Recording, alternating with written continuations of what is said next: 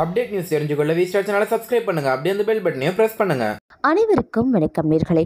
இன்றைக்கி நம்ம வீடியோவில் பார்க்க போகிற ஒரு முக்கியமான தகவல் என்ன அப்படின்னு பார்த்தீங்கன்னா ஒரு ஆன்மீக தகவல். அதாவது திருமண வரத்துடனும் குலம் சிறந்து விளங்குறதுக்கும் துன்பம் ஏற்பட்டு விடாமல் குடும்பத்துடன் ரொம்பவும் சிறப்பாகவும் மகிழ்ச்சியுடனும் சேர்ந்து வாழ வேண்டுதல்களை நிறைவேற்றக்கூட ஒரு உருவான திருத்தலத்தை பற்றிய பல சுவாரஸ்யமான தகவல்களை தான் பார்க்கப்படும். அதாவது திருச்சியில் இருக்கக்கூடிய திருமைநீலி நீலீஷ்ணேஸ்வரர் அப்படிங்கிற கோவில் மிக மிக பிரசித்தி பெற்ற கோவில் அப்படின்னு சொல்லலாங்க. இந்த கோவில் பார்த்திங்க அப்படின்னா மிகவும் பழமையான கோவில் அப்படின்னு சொல்லலாம். இது தேவார பாடல் பெற்ற தலங்களில் பார்த்தீங்க அப்படின்னா சோழ நாடு காவிரி வடக்கரை தலங்களில் அமைந்திருக்கக்கூடிய அறுபத்து ஒன்றாவது சிவத்தலமாகவே பார்க்கப்பட்டு வந்துட்டுருக்கு.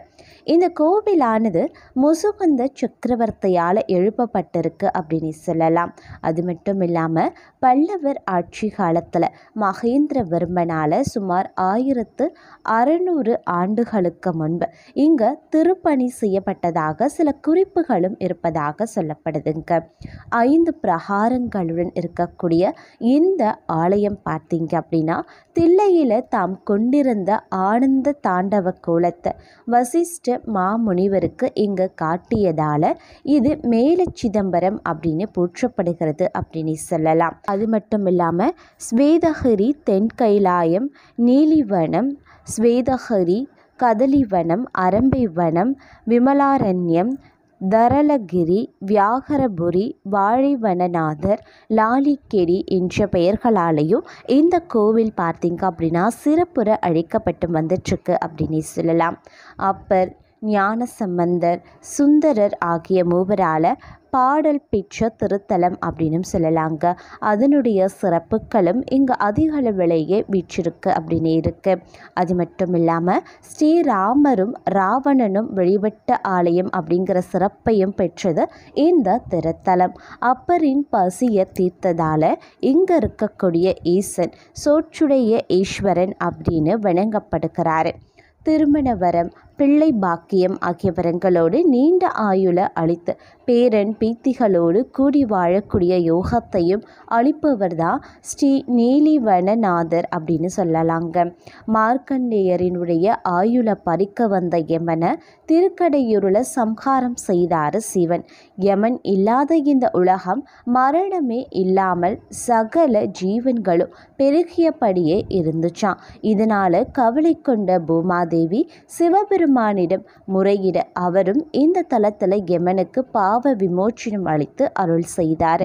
அதனாலேயே இந்த கோவிலில் யமனுக்கும் தனி சன்னதியும் காணப்படுகிறது அப்படின்னு சொல்லலாம். சிவனின் ஆணைக்கு ஏற்ப இங்கு வந்து வழிபடுபவர்களுக்கு யம பயம் அகால துர்மரண பயம் ஏற்படாது அப்படின்னு தல வரலாறும் சொல்லுதுங்க. இங்கே வந்து ஆயுஷ்ய ஹோமமும் மிருத்யுஞ்ச ஹோமமும் செய்து கொள்பவர்களுக்கு பூரண ஆயுள் கிட்டும். அப்படிங்கிறது பக்தர்களினுடைய நம்பிக்கையாகவும் என்றளவும் திகழ்ந்து வந்துட்டுருக்கு. இந்த கோவிலில் பார்த்தீங்க அப்படின்னா சப்த கண்ணியரும் கூடி ஈசனிடம் திருமண வரம் கேட்டதாக ஐதீகமும் உண்டுங்க. சப்த கண்ணியரும் இங்கே வாழை மரங்களாக இருப்பதாகவும் நம்பப்பட்டு வந்துட்டுருக்கு அதனால தான் இங்கே வாழை மரங்களுக்கு பூஜை செய்வது அப்படிங்கிறதும் வழக்கமாகவே இருந்து வந்துட்டுருக்குங்க இங்கே பார்த்தீங்க அப்படின்னா காலையிலையும் சரி மாலையிலையும் சரி வாழை பரிகார பூஜை அப்படிங்கிறது செய்யப்படுகிறது. இந்த பூஜை பார்த்தீங்கன்னா மிக மிக சிறப்புக்குரியது அப்படின்னு சொல்லலாம். இதனால் நாக்க தோஷம் நிவர்த்தி திருமண தடை விலகிறது பூரண ஆயுள் போன்றவை நிறைவேறும் அப்படின்னு சொல்லப்படுதுங்க. இந்த திருத்தலத்தில் இருக்கக்கூடிய வாழை அப்படிங்கிறது தனித்து சிறப்பு கொண்டது அப்படின்னு கூட சொல்லலாம். இது வேறு இடத்துல நட்டோம் அப்படின்னா அந்த வாழைகள் வளர்றது கிடையாதான். இந்த வாழையினுடைய இலை காய் கனி அப்படின்னு அனைத்துமே பார்த்தீங்கன்னா சிவனுக்கே உரியவை அப்படின்னு சொல்லப்படுது. மீறி யாராவது அதை சாப்பிட்டாங்க அப்படின்னா அவர்களுக்கு உடல் நல கோளாறு ஏற்படும் அப்படின்னு சொல்கிறாங்க இந்த கோவிலில் பார்த்தீங்க அப்படின்னா கல்யாண தீர்த்தம் யம தீர்த்தம் விசாலாட்சி தீர்த்தம் அக்னி தீர்த்தம் தேவ தீர்த்தம் அப்பர் தீர்த்தம் மணிக்கர்ணிகை தீர்த்தம் அப்படின்னு இங்கே மொத்தமாக ஏழு தீர்த்தங்கள் காணப்படுதான் அதில் பார்த்தீங்க அப்படின்னா அப்பருக்கு பொதிசோறு கொடுத்த இடம் அப்பர் தீர்த்தம் ஆகியவை இருக்குது அப்படின்னு சொல்லப்படுவதுண்டு. ஆண்டுதோறும் பார்த்தீங்க அப்படின்னா புரட்டாசி மற்றும் பங்குனி மாதங்களில் இங்கே இருக்கக்கூடிய ஈசனின் மீது சூரிய கதிர்கள் விழுமா? வைகையில் அமைக்கப்பட்டிருக்கக்கூடிய இவை மிகவும் பிரசித்தி பெற்றது அப்படின்னு சொல்லப்படுது. இந்த கோவிலுக்கு பார்த்தீங்க அப்படின்னா விசேஷ வழிபாடான கல்யாண வாழைகளுக்கு முன்னே அமர்ந்து செய்து கொள்ளக்கூடிய பரிகார பூஜை மற்றும் தோஷ நிவர்த்தி பூஜை மிக மிக சிறப்புக்குரியது அப்படின்னு சொல்லலாம். நீண்ட ஆயுளையும் நிறைவான திருமண வாழ்க்கையையும் அருளக்கூடிய இந்த கோவிலுக்கு சென்று வந்தால் நினைத்தது எல்லாமே நிறைவேறும் அப்படின்னு சொல்கிறாங்க பைநீடி அப்படின்னா கல்வாழை அப்படின்னு பொருளாங்க. வாழை தூப்பாக இருந்த இடத்துல கல்வாழைகள் நிறைந்த இடத்துல இந்த எழுப்பப்பட்டதுனால இந்த தலத்திற்கு பைநீலி என்றே பெயர் பெற்றது அப்படின்னு சொல்லப்படுகிறது. இந்த திருத்தலத்தில் பார்த்தீங்க அப்படின்னா பசுமையான நீலி அப்படிங்கக்கூடிய வாழை மரங்களை அதாவது கல்வாழை தல விருட்சமாக இருக்கிறதுனால இங்கு இருக்கக்கூடிய இறைவன் நீலிவனநாதர் அப்படின்னும் வாழிவனநாதர் அப்படின்னும் அழைக்கப்படுறாரு.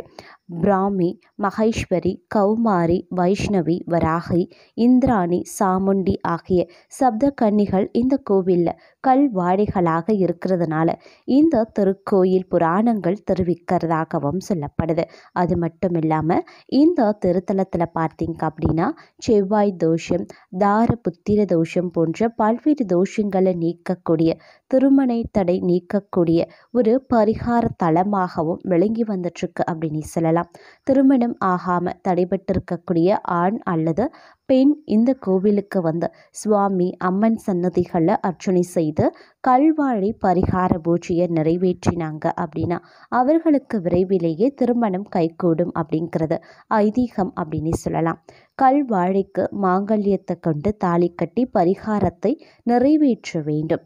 திருமணம் முடிவாகிய பின்னர் இந்த கோயிலில் நிர்வாகத்துக்கு திருமண அழைப்பிதழை அனுப்பி வைக்கிறதும் திருமணம் முடிந்த பின்னர் தம்பதி சகிதமாக வந்து பரிகார நிவர்த்தி பூஜை செய்வதும் தொடர்ந்து வந்துட்டுருக்கு இது இன்றும் இந்த கோவிலில் காண முடியும் அப்படின்னு சொல்லலாம்.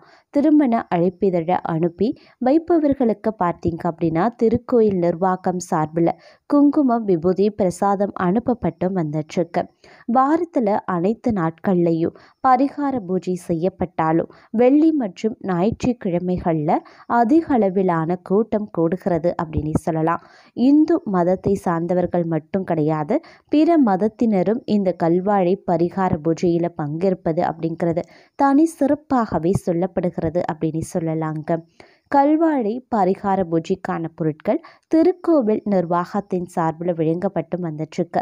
இதற்கான தொகையை செலுத்தி பொருட்களை பெற்றுக்கொள்ளலாம் இதைத் தொடர்ந்து தைப்பூச தினத்தில் யம தர்மராஜனுக்கு சிவபெருமான் உயிரை எடுக்கும் அதிகாரத்தை வழங்கியதால் இங்கே இருக்கக்கூடிய சன்னதி அதிகார வல்லவர் சன்னதி அப்படின்னு அழைக்கப்படுது. இங்கு சோமஸ்கந்தருடன் தாட்சாயினி அம்பிகா சமேத மிருத்யுஞ்ச ஐயர் இறைவனாக காட்சியளிக்கிறார்.